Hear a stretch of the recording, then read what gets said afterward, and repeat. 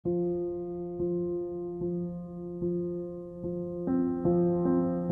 sepertinya tak kehabisan senjata untuk menggempur Ukraina di medan perang. Saat ini Moskow dikabarkan tengah menggunakan tank T-14 Armata Rusia. Senjata ini diyakini ampuh menumpas musuh. Tank T-14 Armata Rusia yang dikirim ke zona operasi militer khusus dilengkapi dengan senjata canggih. Bahkan senjata ini tidak terlihat oleh musuh.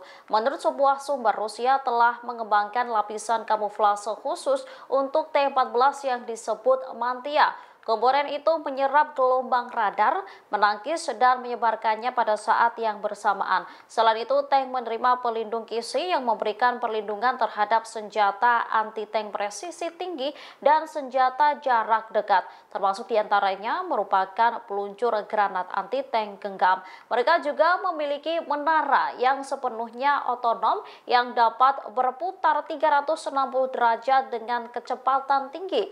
Noel Sarge, seorang pro Profesor Kecerdasan Buatan dan Robotika menyebut daya tembak tank dapat menghancurkan kota dalam hitungan menit.